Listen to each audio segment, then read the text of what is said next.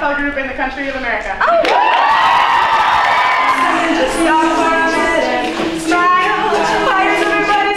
So we've been active for 75 years, um, even through World War II, which was a time when a lot of um, collegiate groups like this one sort of died down. The Smiffenpoofs was uh, founded, and um, we were founded in 1936 when a group of Smith women went to Yale, which was you know one of our brother schools at the time, um, and saw the Whiffenpoofs per per perform um, at a picnic. And they're the oldest male group, uh, collegiate a cappella group in the country. And the Smith women were like, well, we need to also do that.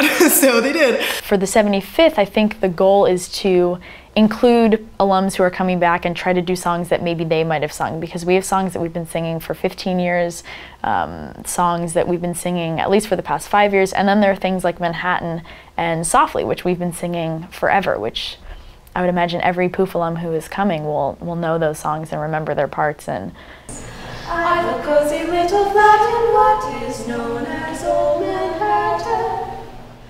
We'll settle down right here in town.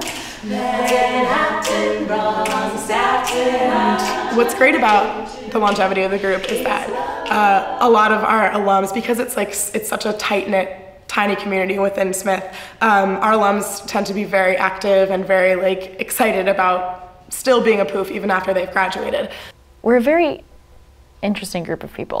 I think the poofs, as far as I can tell, the poofs have always been an eclectic mix of people because some people are drawn to the tradition of being a poof, some people are drawn to the songs that we sing, some people like me have no idea what they're doing until, you know, wham, they're in the group. It's really important that we decide now because I need to tell the loves so we can do it.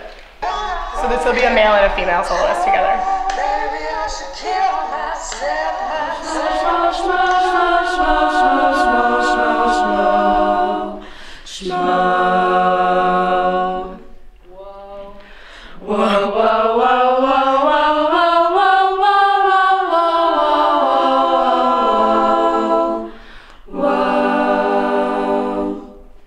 We, we have a lot of mainstream music. We, we think it's important that the audience can interact with us while we're on stage. There's nothing worse than sitting through an a cappella concert and not knowing a single song. So we try to do, we have pop songs that we do. We, you know, if we sense that a song is getting really popular on the radio, we'll try to see if someone can arrange it really quickly so the next time we perform, you know, it's like the hit song that we're singing to try and keep it a little fresh and relevant.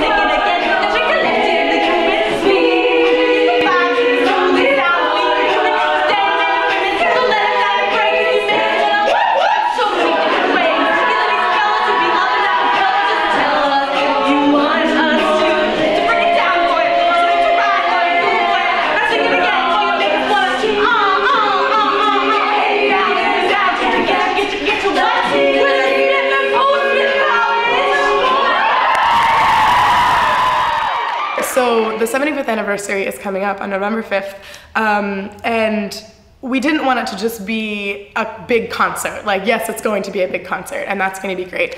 But it's also the first time that we've invited that a, a, class of poofs has invited Smiffenpoofs from all past years back to school to meet each other again.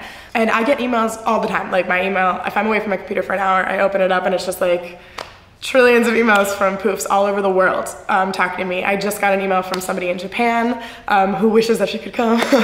um, and then another one from a woman in California who's coming and meeting um, members of her class from Texas and Wisconsin um, and other people from California who are coming back from the um, late 70s and early 80s to reunite here again. And it, she said it's the first time that they'll all be back together.